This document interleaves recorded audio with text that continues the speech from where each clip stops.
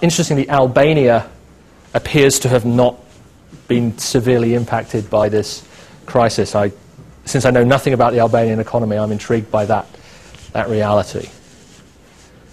Yeah.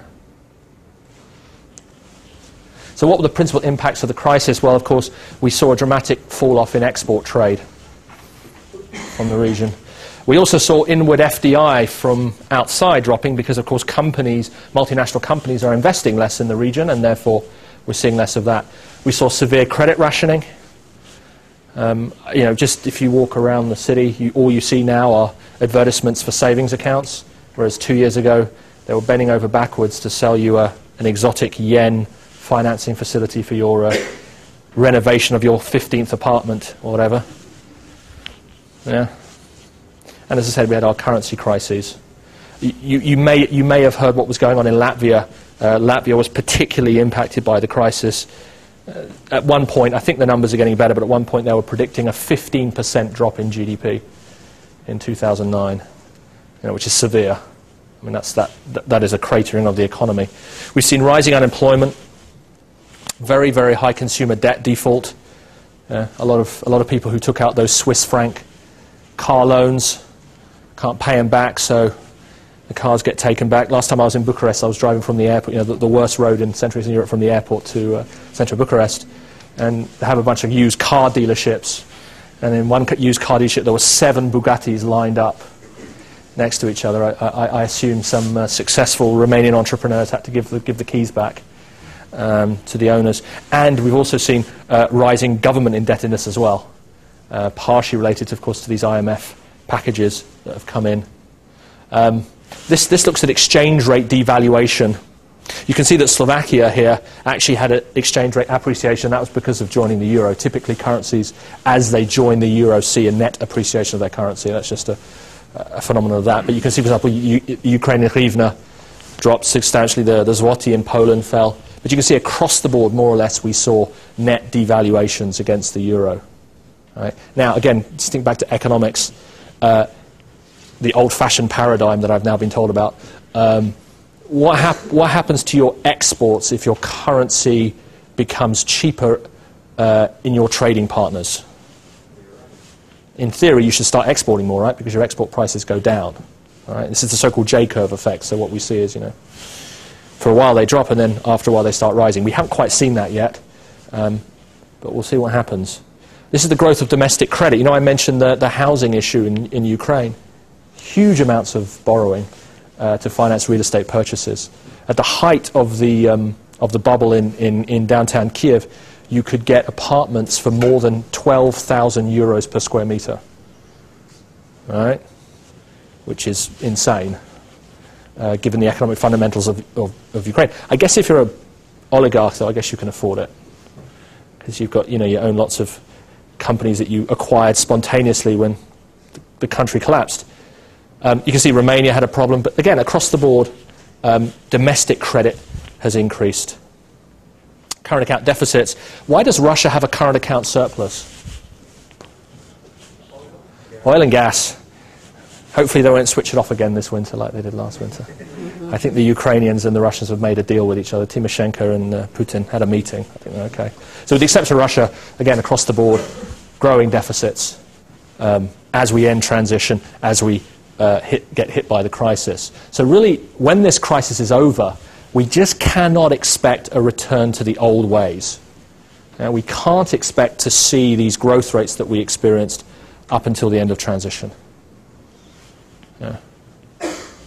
And also, for, don't forget that every single member state of the European Union that's from Central Eastern Europe that hasn't adopted the euro yet, right, they're committed to further deflationary pressure, to get inflation down, to get budget deficits down, to get interest rates down. So the government stimulus possibilities are significantly lower than they were during the transition process. So don't look to the government to spend money to sort of kickstart the economy because there's no money there because they're indebted. And secondly, the European Central Bank will sanction them if they don't meet the, con uh, the convergence criteria to join the euro, to which they are by treaty committed. So what should companies do? Well, companies need to shift their entire growth strategies from what we call extensive growth, which is growing into the growing market, and focus more on intensive growth. Right? And there's two elements to intensive growth for companies. Number one, keep your existing customers rather than your glorious pursuit of new customers. Right? So you redefine your targets for your managers, your sales managers. You say, we're not going to pay you more if you get more customers. We're going to pay you more if you keep existing customers happy. Right? So you have to be more monogamous with your customers rather than uh, encouraging them to have five bank accounts each, which is what happens in the banking sector, for example. Right? And related to that focus on intensive growth are two things. In the B2C sector, uh, a relentless and tireless focus on customer service. Right? So my favorite Hungarian expression, sajnos nem tudok segíteni. You're all laughing because you hear it every single day of your life and you know it. That has to come to an end. We cannot continue this nonsense because in a maturing market, you will lose market share if you keep doing that nonsense. Believe me. And the second thing in your B2B sector, customer relationship management. Uh, an, an, an intense focus on that. Because again, if when you start competing with each other to get each other's customers, CRM is going to be, is going to be the thing that keeps you there. And as I say, an interesting reality is, is that most of you have only ever experienced growth. You've never been trying to win business in a mature market, and that's what you face in the silver era um, ahead. That's on the customer side, you know, the front end, if, if, you like. If you look at the, you know, look at the intern, internal organizational aspects, uh, and my colleague Zoltan Buzády at the back will be very happy to hear this, who's our uh, uh, HRM professor. Um, right now, most companies, uh, human resources is an operational function. It's about filling in the bits of paper, signing in blue ink in triplicate, and making sure that you, as a company, abide by labour laws. What needs to happen in the future is a strategic approach to HR which Professor Buzády knows a lot more about than I do, um, which is focusing on putting your HR manager on the board of directors of your companies.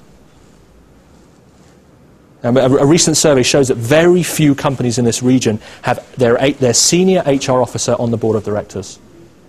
And that needs to change. Because it's your human resources that are going to be able to win the new customers from your competitors in this rapidly maturing marketplace.